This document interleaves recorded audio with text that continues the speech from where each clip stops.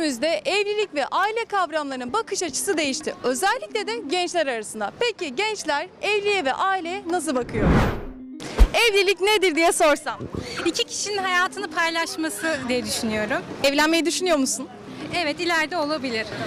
Yani iki kişinin bir hayatı e, paylaşması. Ya evlilik bence kesinlikle en çok sabır. Katılıyorum ama buna saygıyı da ekliyorum ben. Evlenmeyi düşünüyor musunuz? Ay hayır bir 5-6 yıl yok yani. Üsküdar Üniversitesi Türkiye genelindeki gençleri aile ve evlilik kavramlarına ilişkin sorular sorarak bir araştırma yaptı. Araştırmada 7 farklı bölgeden 3266 öğrencinin görüşüne başvuruldu ve ortaya gerçekten de ilginç sonuçlar çıktı. Gençlerin yarısından fazlası aşk evliliği diyor. Aşk evliliği mi yoksa mantık evliliği mi sorusuna %64 aşk evliliği derken mantık evliliğinde bu oran %16,7 olarak karşımıza çıkıyor. Aşk evliliği mi mantık evliliği mi? Aşk evliliği. Bence mantık. Aşk bir gün bitiyor. Aşk. Her ikisi de bence. Ee, aşk evliliği. Aşk evliliği. Aşk. Aşk. Ee, aşk evliliğini söyleyen kişiler aslında baktığımızda aşktan ne anladığını sorgulamak gerekiyor. Aşk denildiği zaman e, kişi genellikle birisini derecesine sevmek olarak anlıyor. Bu tarzdaki bir aşk hoştur, çok güzeldir. Ama bu evlilikteki tek e, gerekçe gibi gördüğünüz zaman bu aşk e, durumunda kişi bir müddet sonra hayatın gerçekleriyle karşılaştığı zaman aşk hedefi gerçekçi bir hedef değil. Aşk ve mantık ikisini beraber derse o zaman e, kalıcı evlilikler sürüyor. Yoksa aşk 6 ay sonra buharlaşıyor. Peki gelelim gençler evlilikten korkuyor mu sorusuna. Yani biraz. Biraz. Biraz korkuyoruz. Aşkı öldürüyor. Zaten büyük bir karar olduğu için herkes korkuyor bence. Zor bir karar çünkü hani doğru insan mı vesaire. Bunun korkusunu yaşamayan yoktur diye düşünüyorum. Gençlerin yalnızca %37'si evlilikten korkuyor. Hayır korkmam diyenlerin oranı ise %51. Peki gençler en çok neden korkuyor? Sonuçta yeni bir hayata başlıyorlar. Yeni bir ailede. Ne kadar geride kalmasa da yeni bir ailesi oluyor artık. O yüzden maddi anlamda, manevi anlamda her şekilde korkuluyor bence. Sorumluluk almaktan mı korkuyorlar yoksa özgürlüğü kaybetmekten mi? Sorumluluk almaktan. Yani önce bence sorumluluk, sonra özgürlüktür. İki tane özgür bir insan böyle sorumlu olmayan, yani, e, gelecekle ilgili fazla plan yapması ihtiyaç olmayan bir kimse birdenbire iki kişi yaşamak zorunda kalıyor. Böyle durumlarda artık iki kişilik düşünmeye başlıyor. İki kişilik hissetmeye, iki kişilik bakmaya olaylara. Yani hem evleneceğim hem özgür olacağım diyorsanız ama sakın evlenmeyin diyoruz. Çünkü evlilik olgunluğuna uymuyor bu. Araştırmanın dikkat çektiği noktalardan biri de buydu. Son zamanlarda küresel boyutta yaşanan olumsuz gelişmelerle beraber eşler arasında geçimsizlik ve çatışmalar artış gösterdi. Buna bağlı olarak boşanma oranlarında yükselişler oldu. Tüm bunlar hem evlenmemiş bireyler hem de çiftler üzerinde gerek ekonomik gerekse toplumsal ve psikolojik sonuçlar doğurdu. Araştırmaya göre gençler arasında evliliğe ilişkin sorgulamaların başlaması gençleri yeni yaşam biçimi arayışlarına yöneltti.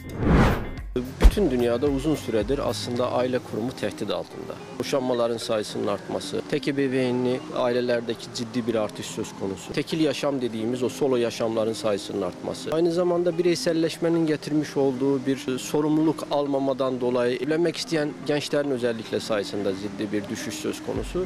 Yani bütün bunlar tabii ki evlilik kurumu üzerinde özellikle hem de aile kurumu üzerinde dolayısıyla çok ciddi bir e, şey tehdit oluşturmakta, risk oluşturmakta daha doğrusu. Bütün dünyada bu küresel bir takım buna benzer risklerin oluşturduğu sorunlar tabii ki Doğu toplumlarında ve Türkiye dahil olmak üzere diğer Asya ülkelerinde, diğer bölge ülkelerinde önemli sorun alanlar oluşturmakta. Biz de bu sorun alanlarını gençler bağlamında ele almak için araştırmaya başlattık. Araştırmada sorulan sorulardan biri de evlilik kararı aşamasında ailenin onayı alınıp alınmayacağı sorusuydu. Her ne kadar Türk aile yapısı sahip olduğu gelenek gücünü kaybetme tehlikesiyle karşı karşıya denilse de gençler hala anne baba sözü dinliyor. Evlilik kararı alırken ailene danışır mısın sorusuna gençlerin %67'si kararı ben veririm ama ailemin de onayını alırım yanıtını verirken %12'si aileme danışmam, kararı kendim alırım diyor. Aileme karşı çıkacağı bir insanla bir insanı sevebileceğimi düşünmüyorum. Tabii ki. Tabii ki de anlaşırım. Eğer hayır derlerse? Konuşarak anlaşılacak, çözülecek bir konuysa konuşarak çözülebileceğini düşünüyorum. Tabii ki de ailemin fikrini alırım. Onların kararıma saygı duyması benim için çok önemli. Onlar görmüş geçirmiş insanlar. Benim için neyin iyi olup olmayacağını onlar daha iyi bilir. Yani hayır derlerse evlenmez misin? Hayır derlerse karşımdaki insanı bir tartarım, düşünürüm. Eğer zaten çok iyi tanıyorsam, güveniyorsam aileme karşı da konuşur, aralarını iyi yaparım. Eğer aileniz izin vermeseydi o zaman yine kararınız evet olur muydu? Olmaz. Yani ben ikna etmeye çalışırdım diye düşünüyorum. Hayır dediler. Evet demeseydi ailemiz tabii ki olmazdı ama ikna etmeye mutlaka çalışırdık diye düşünüyorum. Elimden geleni yaparım ya ikna etmek için. Yine de hayır derse? Ay bilmiyorum bu çok zor. Öyle bir aşk yaşamadım. Gençler evlilikle ilgili bunları düşünüyordu. Gelelim aile kavramına. Bakalım gençler aile kavramı için ne düşünüyor?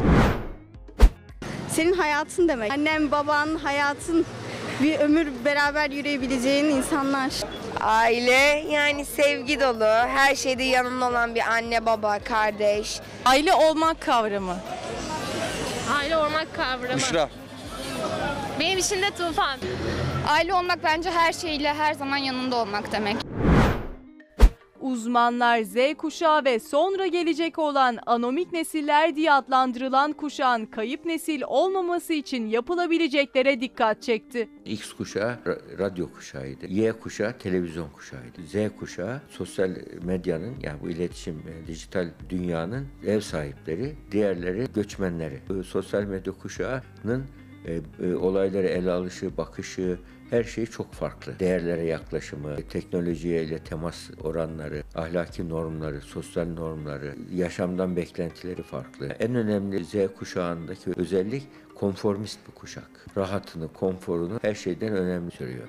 Gelecek için riske girmek, toplum için riske girmek onlara çok saçma geliyor, anlamsız geliyor. Aslında anda yaşa olması gereken kavramı anı yaşa gibi anlıyorlar. Eğer Onlara olaylar, zorluklar karşısında psikolojik büyüme nedir? Ee, zorluklara dayanıklık gücü nedir? Doyum erteleme becerisi nedir? Dayanıklık eğitimi nedir? Bunları öğretemezsek eğer biz şu andaki Z kuşağına, bu Z kuşağı daha sonra alfa kuşağına dönüşecek. O alfa kuşağı da anomik kuşak işte. Anomik, sosyal normları olmayan. Yani sadece kendi çıkarı odaklı yaşayan e, ve orta ve uzun vadeli düşünmeyen bir nesil ortaya çıkabilir. Yani bunun için bu e, sosyal bilimlerin, sosyal sosyologların kafa yorması gereken bir konu. Artık e, yakın tehlike var. Yani uzak tehlike değil. Batı için çok çok çok daha yakın tehlike ama bizim için artık bu kuşağı kaybediyoruz şu anda. Kayıp kuşak olacak. Yani onun için Türkiye'nin en acil, en önemli işi e, budur.